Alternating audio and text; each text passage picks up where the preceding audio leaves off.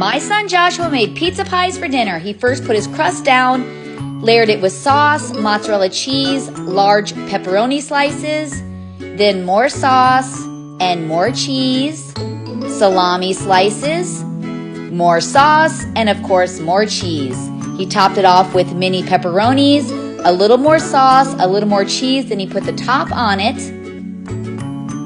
crimped the sides, cut some air holes in it, put an egg wash on it, and baked it at 375 for 40 minutes. This was so good.